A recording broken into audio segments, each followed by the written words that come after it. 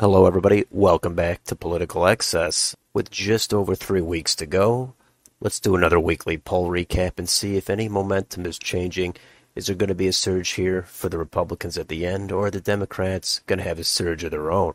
So let's get on Real Clear Politics and see what we've got from yesterday, Saturday. And there's a poll here from Schoen Cooperman, Democratic pollster. Not familiar with them. 824 likely voters.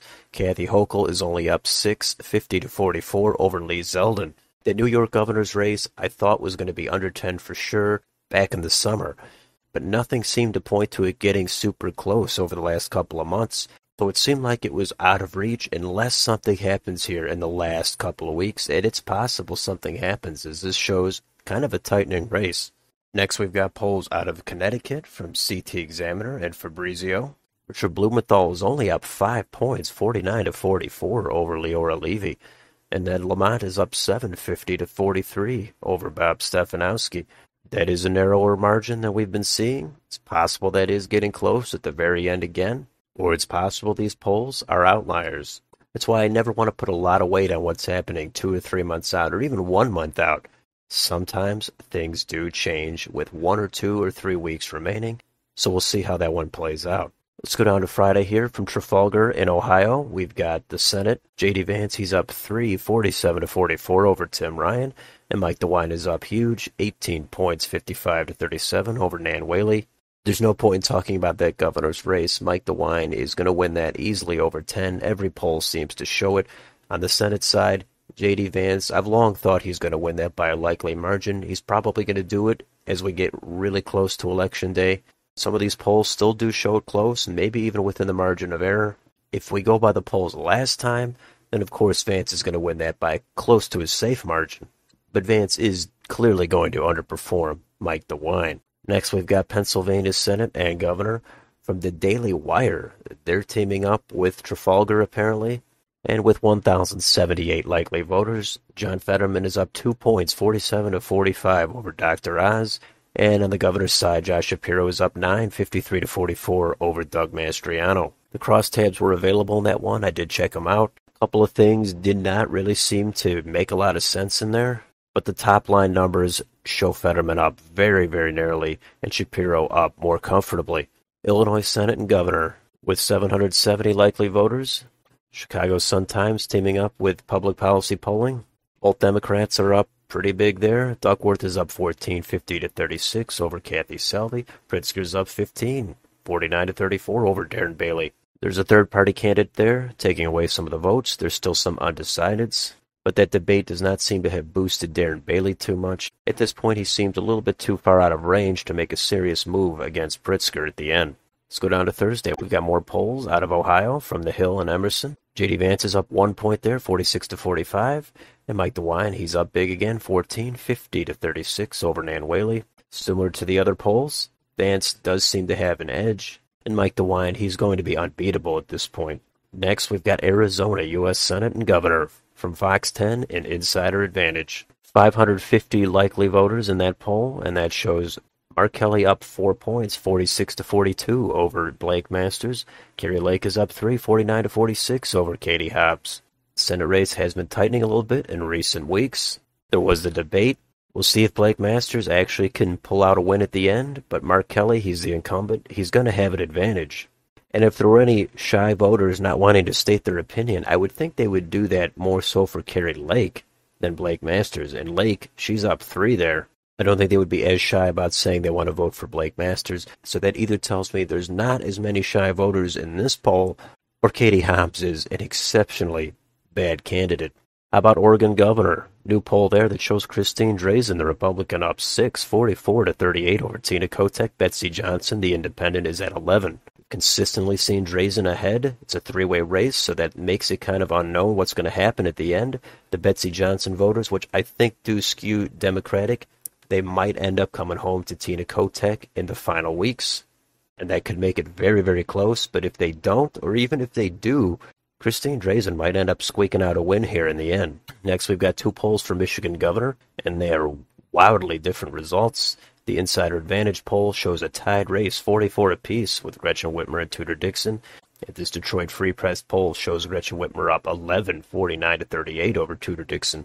It's another debate. I did watch it. I don't know how much it's going to affect the race. If Dixon is down by 11, I don't think she's going to be able to make that up, but I don't think she's down by 11. And then this other poll shows a tied race.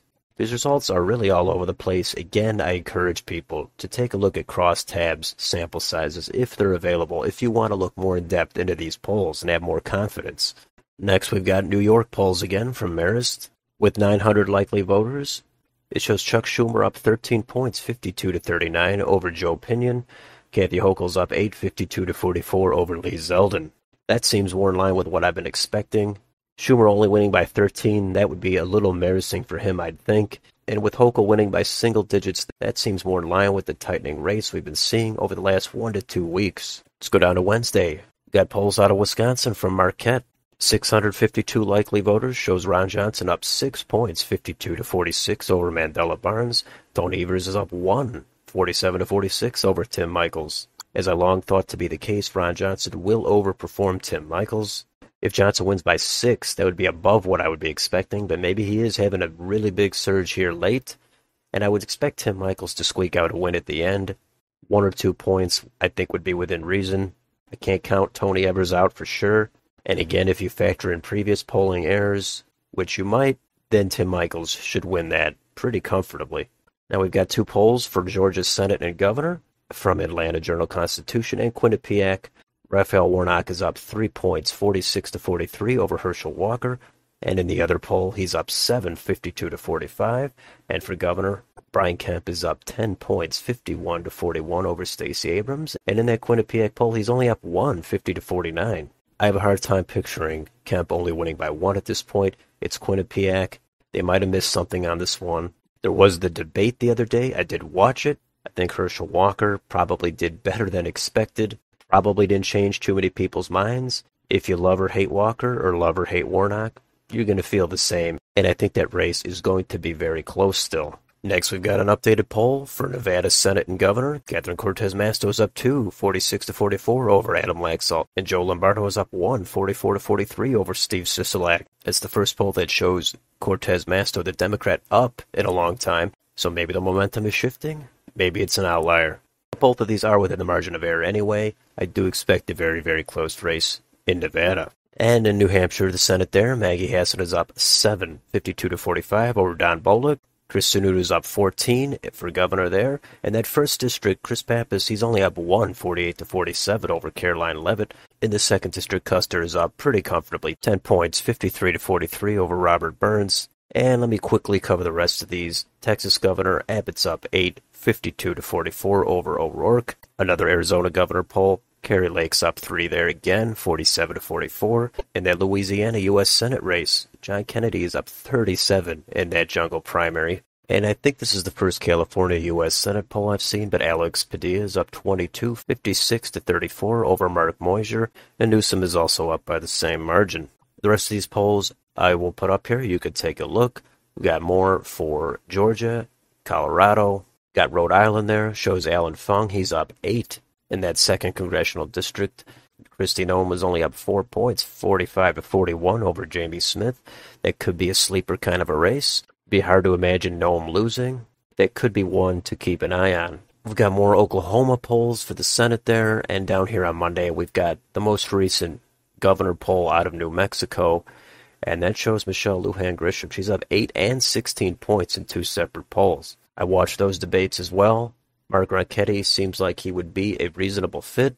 It's not being reflected in these two polls, at least, especially that 16 point margin. That seems like a total outlier. I thought that one could be really close, but as of now, I don't see it being extremely close anymore. Again, he could surge, or any of these other candidates could surge late in the game. So we'll be watching to see what happens. This is it. There's no more excuses. Debates are happening. Polls are coming out. Everyone is starting to pay attention to politics. Even some early voting has happened already. I've been trying to cover most of the important races. I've been doing ad reviews, I've been watching debates, so please be sure to take a look at any of my other videos if you'd like, and let me know down below in the comments what do you think of the polls this week. And if you enjoyed this channel, please like, share, and subscribe. Thank you for watching, and I'll see you on the next video.